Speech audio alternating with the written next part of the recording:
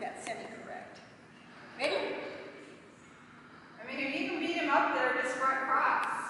Yeah, I probably can at this speed. Okay, ready? Jump.